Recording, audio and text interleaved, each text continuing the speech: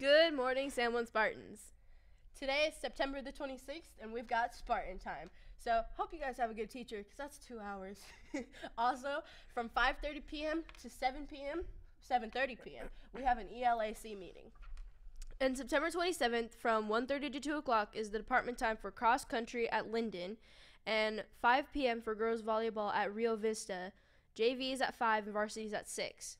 And on September 28th, the freshman wheel rotation ends. Thank you for tuning in. Have a wonderful day. And also, check out our school website at sanjuan.edu slash sanjuan.